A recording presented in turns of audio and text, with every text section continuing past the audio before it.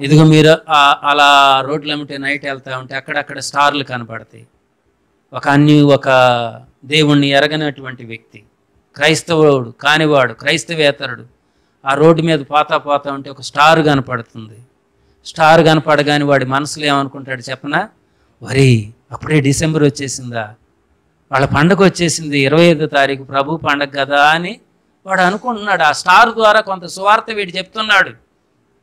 వాడు ఇంట్లో చిన్న ట్రీ తెచ్చుకొని పెట్టుకొని చక్కగా డెకరేట్ చేసి లైటింగ్ లైటింగ్ వేసి చిన్న చిన్న లైటింగ్ వేసి ఇంట్లో ఒక టేబుల్ పెట్టుకొని ఒక మూల పెట్టుకున్నాడు. ఆ ఇంట్లో ఆ ఇంట్లోకి ఎవరో ఒకళ్ళు వచ్చారు. దేవుణ్ణి ఎరగని వాళ్ళు వచ్చారు. ఆ ట్రీ చూడగానే వాళ్ళకి ఓరి వీళ్ళ పండగ వచ్చేసింది అప్పుడే. ఎప్పుడమ్మా ఈ పండగ? మీ పండగ రోజు నన్ను కూడా పిలువ అంటున్నాడు. భోజనానికి పిలువ అంటున్నాడు. ఆ ట్రీ ద్వారా ఏడు ఏదో ఒక మెసేజ్ చెప్తున్నాడండి. నేను మీకు చెప్పనా? ప్రభువు పుట్టినప్పుడు గొర్రెల గొ- గొర్రెల కాపరులకి వర్తమానాన్ని దేవుడు దేవదూతల ద్వారా పంపించాడు. దేవదూతలు సరాసరి వచ్చి గొర్రెల కాపరులకు చెప్పాడు ప్రభు రక్షకుడు మీకోసం పుట్టాడు అని అంటే గొర్రెల కాపరులు వెళ్ళారు. జ్ఞానులకి దేవదూత చెప్పలా. ఎవరు చెప్పారు? ఆకాశములో ఆయన నక్షత్రాన్ని చూశారు అని ఉంది. ఆయన నక్షత్రాన్ని. జ్ఞానుల కోసం దేవదూతను పంపించలేదు. గొర్రెల కోసం నక్షత్రాన్ని పంపించలే దేవుడు. గొర్రెల కాపరుల దగ్గరికి ఎందుకంటే వాళ్ళకి పామరులు కాబట్టి నోటి మాట అర్థమవుతుంది. వీళ్ళు జ్ఞానులు కాబట్టి సూచన అర్థమవుతుంది. వాళ్ళు అలా ఏమన్నారు తెలుసా?